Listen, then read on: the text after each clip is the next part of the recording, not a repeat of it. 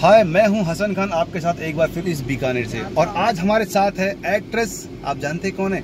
ये है उपमा शर्मा। जी हाँ वही उपमा शर्मा जिनको आपने बहुत सारे पंजाबी जो एल्बम है सॉन्ग्स है, उसमें देख चुके हो। और आज ये बीकानेर में, किसी को बताना मत, बीकानेर में शूटिंग चल रही है। जैसे कि आज सात अगस्त 2008 है और अभी शूटिंग चल रही है होटल, कौन सी होटल, पता है? जूनागढ़ के बिल्कुल पीछे जी हाँ भैरव विलास। लेकिन हाँ ज़्यादा इसको फैलाएगा नहीं क्योंकि हम बाद में बता सकते हैं आपको। सो ये यहाँ पर एक शूट का यहाँ पर शूट करने आए हैं। कुछ शूट कल इनका रायसर में था और आज शूट यहाँ चल रहा है बीकानेर में। और आज शाम को एक बार फिर दोनों की धरती पर जमाल रहेगी।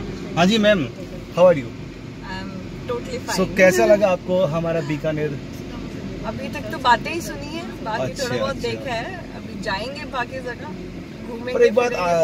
आप हिमाचल से हैं? तो हिमाचल का टेम्परेचर यहाँ का टेम्परेचर क्या कहना कितना मज़ा आ रहा है आपको यहाँ मैं टेम्परेचर यही बात कर रहे थे कि हम लोग minus ten fifteen degree temperature से आए हैं। माइनस टेन माइनस ये कहाँ पे है? चल रहा है इस टाइम पे। अगस्त के महीने में। अगस्त के महीने में माइनस टेन और यहाँ पर प्लस चालीस का लो ऊपर मान के चलो पैंतालीस से पचास के बीच में टेम्परेचर है इधर का। सो ये टोटली डिफरेंट टेम्परेचर है। सो मैम बीकानेर का यहाँ पर क्या खास बात आपको लगी? क्या खास बात लगी आपको बीकानेर की यहाँ पर? बीकानेर अभी तक तो मुझे गर्मी बहुत खतरनाक लगी गर्मी। यहाँ की मिट्टी कैसी लगी आपको? वही मतलब वही मिट्टी जैसा रंग हो गया हमारा भी। मतलब मेरे को रूप ही ऐसा दिया हुआ है कुछ मिट्टी जैसा टैन किया हुआ है गाइस थोड़ा गाँव की टिपिकल गाँव की लड़की बनाने के लिए मुझे थोड़ा सा टैन किया हुआ है। Mm-hmm. एंड मुझे लुक्स बहुत अच्छी लगी है। मतलब मैं बहुत एक्साइटेड थी क्योंकि मैं आज से पहले कभी टैन नहीं हुई ना। अच्छा, डार्क किया अच्छा। पहली बार डार्क हुई हूँ तो। जी हाँ ये कितनी हाँ, कितनी बड़ी बात है कि बीकानेर में आज ये यहाँ पर है और इनके साथ और भी कौन एक्ट्रेस यहाँ पर है आप बीकानेर में? आए हुए इस एल्बम के लिए आपके टीम में जो यहाँ पर आए हुए हैं।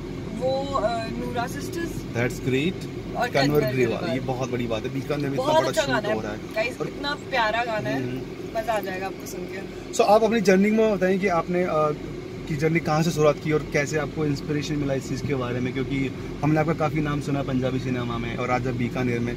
मीन्स कितना स्ट्रगल है इसमें और आप क्या युवाओं को संदेश देना चाहते हैं कैसे वो इस मुकाम तक पहुँच सकते हैं? क्योंकि आज के समय में एक हर एक डिमांड रहती है ग्लैमर रहता है कि हर किसी को चाहता है कि मैं कुछ मॉडल बनूँ तो उनको क्या टिप्स देंगे कि एक्टिंग का या कोई टिप्स है या मतलब कैसे अपने आप को वो इस लेवल तक लेके आ सकते हैं कुछ करने के लिए? How can they do hard work से देखो बिना। मेहनत किए तो कभी भी कुछ नहीं मिलता? राइट राइट राइट तो मेहनत तो करनी पड़ती है मतलब मैं भी अभी ऐसे नहीं बोल सकती कि मैं बहुत अच्छे लेवल पे हूँ। I am also trying my best और मैं हार्ड वर्क कर रही हूँ। पाँच साल हो गए मुझे।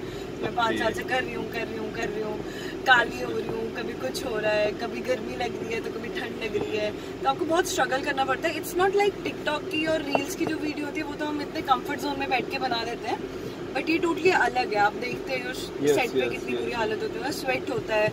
और ऑब्वियसली देखो भी मैंने सुबह से मेकअप किया है स्वेट हुआ है फिर हमने उसी पे टैप टैप करके हमने अपने स्किन पे मतलब पाउडर लगाया एंड